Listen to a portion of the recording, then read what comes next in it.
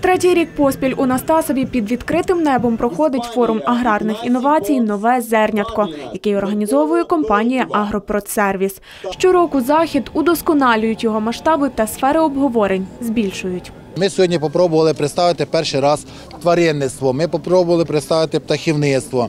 Ми спробували представити там відгодівлю бичка е, безпосередньо. Форум Нове зернятко це площадка для вдосконалення та дискусій.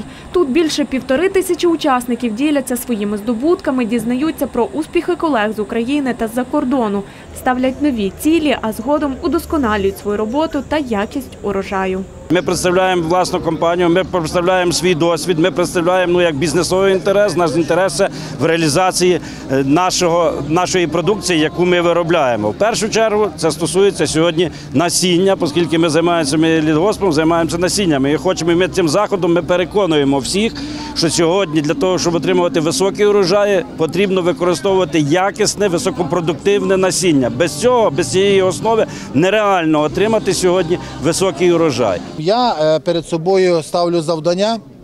Наша компанія виробляє 200 тисяч, ну плюс-мінус так, 200 тисяч тонн е, зерна.